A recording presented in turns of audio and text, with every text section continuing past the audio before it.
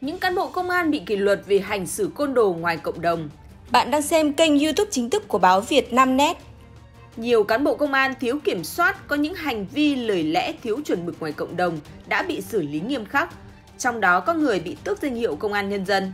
Ngày 3 tháng 5, một phó trưởng công an phường ở thành phố Cao Bằng, tỉnh Cao Bằng bị tạm đình chỉ công việc để xác minh về hành vi tấn công một phụ nữ tại tiệm tóc. Theo đoạn clip lan truyền trên mạng xã hội, vị phó trưởng công an phường nêu trên trong bộ thường phục dùng tay tát nhiều cái vào vùng mặt của một phụ nữ.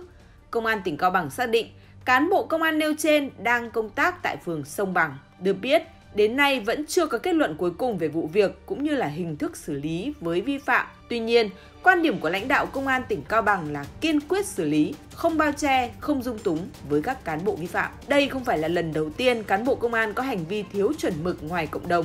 Trước đó, nhiều vụ việc được lan truyền trên mạng xã hội đã thu hút sự quan tâm đông đảo của người dân.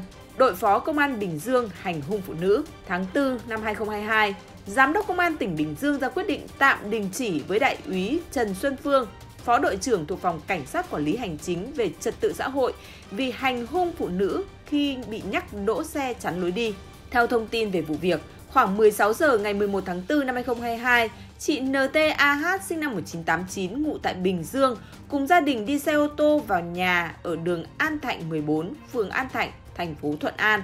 Khi vừa vào hẻm được khoảng 100 mét thì bị một số xe ô tô đậu chắn lối đi và không thể vào trong.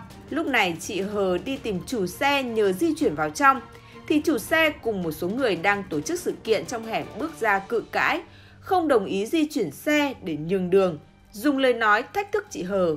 Sau một lúc cự cãi, nhóm người này lao vào hành hung chị Hờ, dùng tay tấn công vào đầu và cơ thể chị này. Phát hiện sự việc, một số người hàng xóm chạy lại can ngăn cũng bị nhóm này tấn công phải bỏ chạy. Đáng chú ý, trong nhóm người tấn công chị Hờ và hàng xóm có đại úy Trần Xuân Phương công tác tại phòng PC06 Công an tỉnh Bình Dương. Cựu đại úy Lê Thị Hiền náo loạn sân bay. Năm 2019, Cựu đại úy Lê Thị Hiền, 36 tuổi, cán bộ công an quận Đống Đa, Hà Nội, gây xôn xao dư luận khi lớn tiếng chửi bới, gây náo loạn tại khu vực sân bay Tân Sơn Nhất, thành phố Hồ Chí Minh. Theo báo cáo của cơ quan hàng không, sự việc xảy ra vào tháng 8 năm 2019. Thời điểm trên, bà Hiền đi cùng với hai người khác đến làm thủ tục chuyến bay VN248 lộ trình thành phố Hồ Chí Minh, Hà Nội. Bà Hiền đã gửi 4 kiện hành lý tiêu chuẩn miễn cước nhưng yêu cầu nhân viên làm thủ tục gửi thêm một kiện hành lý sách tay.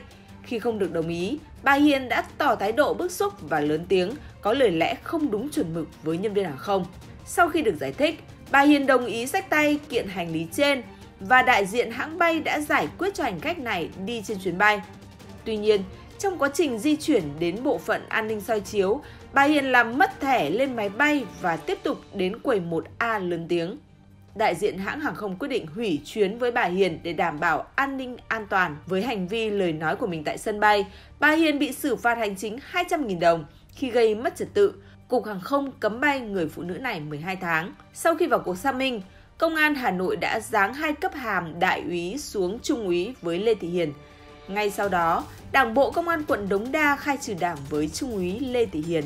Sau khi bị giáng cấp hàm, khai trừ đảng, Trung úy Lê Thị Hiền đã làm đơn xin ra khỏi ngành và được Ban Giám đốc Công an Hà Nội đồng ý.